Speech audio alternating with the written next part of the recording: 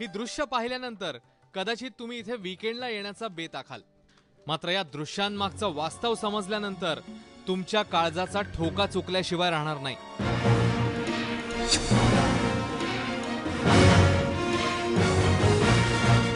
पुण्याची तहान भागवणाऱ्या टेमघर धरणाची ही अवस्था पाहून पुणेकरांच्या तोंडचं पाणी पळालंय.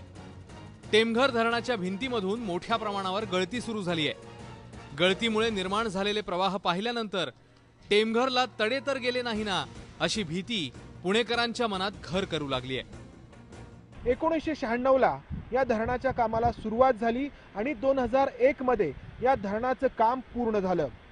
श्रीनिवास कन्स्ट्रक्शन आणि सोमा कन्स्ट्रक्शन या दोन कंपन्यांकडून या धरणाचं काम पूर्ण करण्यात आलं.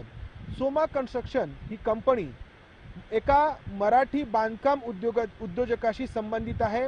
हा बांधकाम उद्योजक या ना त्या कारणाने नेहमीच चर्चेत असतो वादग्रस्त राहिलेला आहे आणि त्याच्याशी संबंधित असलेल्या कंपनीकडून करण्यात आलेलं धरणाचं हे काम.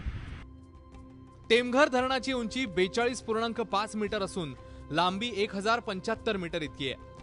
पुण्यातून वाहणाऱ्या मुळा नदीच्या प्रवाहावर हे धरण उभारण्यात आलंय. मुळशी तालुक्यातल्या दासवे गावाशेजारी धरण बांधण्यात आलंय. टेमघरची पाणी साठवण्याची क्षमता तीन पूर्णांक पंच्याहत्तर टीएमसी इतकी आहे. तर क्षेत्रफळ पंचावन्न हजार पाचशे बारा चौरस किलोमीटर इतकं आहे. एकोणीसशे शहाण्णव ते दोन हजार एक या कालावधीत धरणाचं बांधकाम करण्यात आलं. त्या धरणामधून साधारणतः हजार ते दीड हजार लिटर प्रति सेकंद पाणी एवढं त्यातनं मोठी गळती आहे. आणि एखाद्या मोठ्या शेतातून जसा मोठा पाट जातो तशा पद्धतीने पाटासारखं पाणी त्यातून बाहेर येतं. आणि हे अत्यंत धोकादायक आहे. भविष्यामध्ये जर काही दुर्घटना होऊ नये पण तशी जर झाली तर पुण्यासाठी फार मोठा तो धोका असेल. मात्र पंधरा वर्षातच धरणातून गळती सुरू झाल्यामुळे जलसंपदा विभाग आणि कंत्राटदारांचं पितळ उघडं झालंय. मात्र पाण्यासारखा पैसा खर्च करणाऱ्या जलसंपदा विभागाला ही गंभीर बाब असल्याचं वाटतच नाहीये.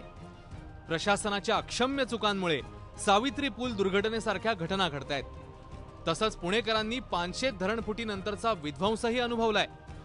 अशातच टेमघर धरणाच्या गळतीकडे दुर्लक्ष करणं म्हणजे विषाची परीक्षा घेण्यापेक्षा कमी नाहीये. मंदार गोंजारी एबीपी माझा पुणे.